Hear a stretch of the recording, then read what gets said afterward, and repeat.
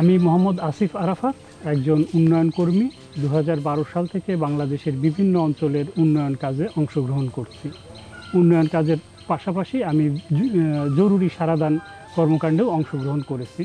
বিভিন্ন সাইক্লোন, বন্যা বা রোহিঙ্গা ক্রাইসিসেও কাজ করার অভিজ্ঞতা আমার হয়েছে।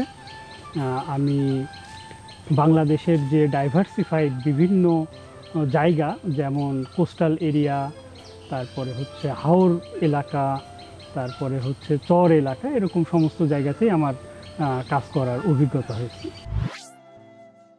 প্রাপ্তি যদি আমি বলি, তাহলে আমি যেটা বলব যে আমাদের দেশের নিতান্ত দরিদ্র মানুষের খুব কাছাকাছি যে তাদের প্রয়োজনটা বুঝে কাজ করার সুযোগ পায়, যেটা সব জায়গায় সব সময় কাজ করার সুযোগ থাকে না, এটা আমি আমার বড় প্রাপ্তি হিসেবে বলব।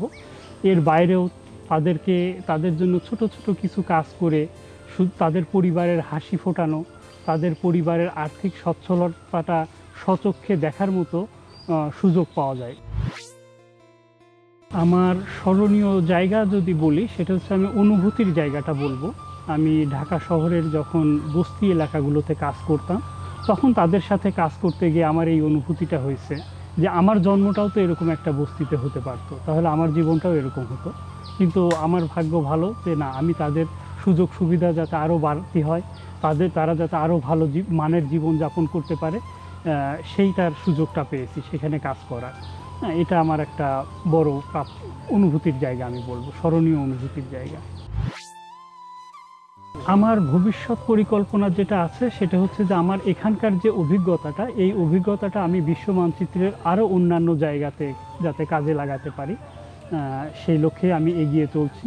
যে আমার কাছে মনে হয় যে বিশ্বের আরও বিভিন্ন জায়গাতেও আমার এই অভিজ্ঞতাটা কাজে লাগানোর সুযোগ রয়েছে।